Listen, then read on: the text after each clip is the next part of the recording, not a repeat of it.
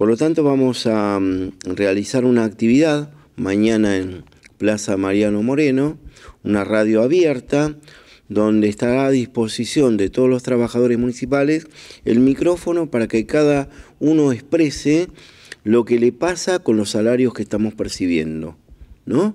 ¿Cómo vive un trabajador municipal hoy en día en la municipalidad de Moreno?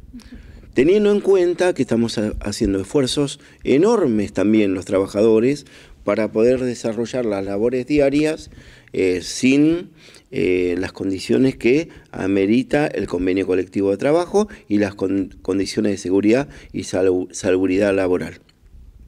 Por eso, mañana a partir de las 9 de la mañana estamos eh, ya en la plaza y esperamos la presencia de muchos compañeros, porque si somos muchos, podemos también discutir la posibilidad y tener la posibilidad de realizar una asamblea, a ver cómo profundizamos las medidas y las acciones que nos van a conducir a los objetivos que nos planteamos.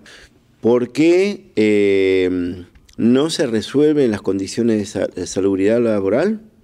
La verdad que habría que preguntárselo también a Lucas Chedrese, al intendente Walter Festa. Nosotros hacemos esfuerzos tremendos de los trabajadores para poder cumplir con las tareas que se les, se les proponen a diario.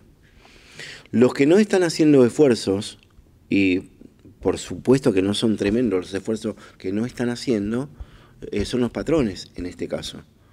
No están poniendo, no, no, están poniendo las cosas como tienen que ponerlas. No están haciendo lo que corresponde hacer.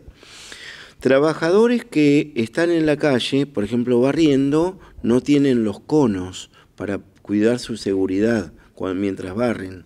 No tienen eh, los chalecos fluorescentes, no tienen los pantalones fluorescentes.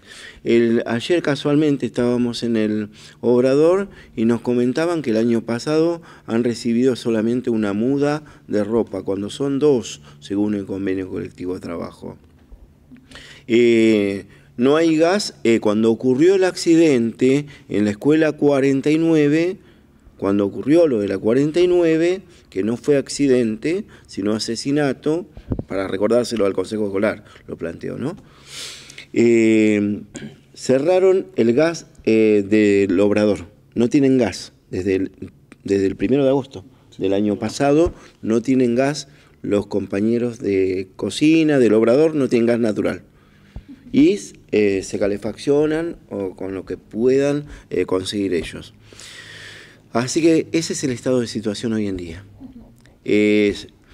estamos en una situación muy crítica en el distrito de Moreno, no sabemos cómo lo van a resolver, no sabemos cómo lo van a resolver, sabemos que hay dinero que, está llegando de provincia, eh, no sabemos dónde se invierte.